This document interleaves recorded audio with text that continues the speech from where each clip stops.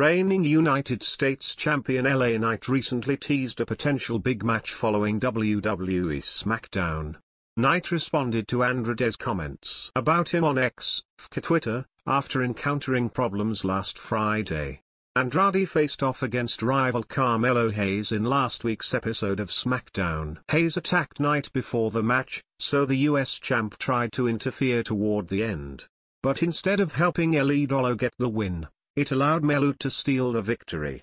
The megastar and Andrade bickered after the match, with the latter sending Knight a message on X. Knight had no choice but to respond to the threat, while teasing a potential triple threat match involving Hayes and Andrade. LA Knight has already defended his United States Championship against Andrade and with Carmelo Hayes' win last Friday, he could be in line for a title shot. Knight also wants revenge on Hayes after getting attacked backstage.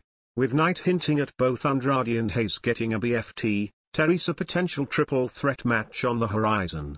El Idolo and Melo already hate each other and the US champ is seemingly looking for a fight. During an interview with Dish Studio last week, LA Knight was asked about the backstage reaction to his first reign as United States champion. Knight explained that some people are baffled at why he still delivers his promos with more intensity despite being a baby face. LA Knight defeated Logan Paul at WWE SummerSlam to win the United States Championship.